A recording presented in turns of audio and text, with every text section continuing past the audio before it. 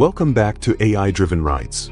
Today, we're diving into what could be a game changer in the automotive world, the upcoming 2025 Peugeot 508. The Peugeot 508, which first turned heads in 2018, has carved out a reputation for its sleek design and dynamic performance. However, as the automotive industry pivots toward electric vehicles, Peugeot is poised to reinvent the 508, aligning it with the brand's ambitious goal of achieving a fully electrified lineup by 2030. For the 2025 iteration, everything about the 508 screams reinvention, from its radical design inspired by the Peugeot Inception concept to its advanced technological foundation. Let's start with the design. The next-gen Peugeot 508 is expected to adopt a sharper, more futuristic look, directly inspired by the Inception concept unveiled at CES 2023. This concept vehicle showcased a bold, low-slung silhouette with striking lines and an overall modern aesthetic. For the 508, Peugeot plans to blend this avant-garde styling with practical elements, including a slightly raised ride height. Beneath the surface, the 2025 Peugeot 508 will be built on Stellantis STLA modular EV platform.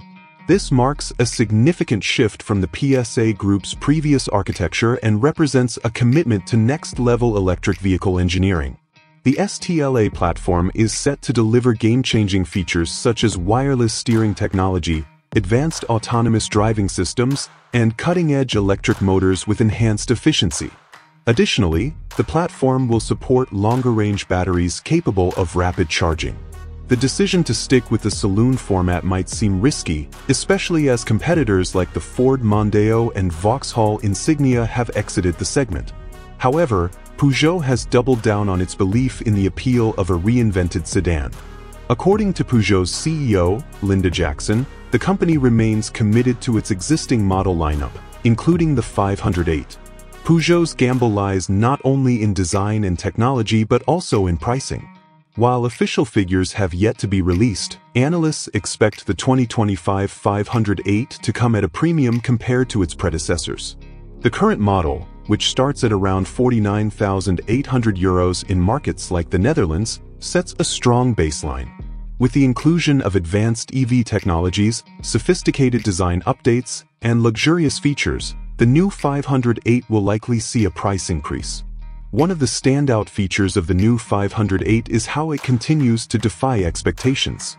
In an era where SUVs dominate showrooms, Peugeot is betting that a stylish, technologically advanced sedan can carve out its niche and attract discerning customers.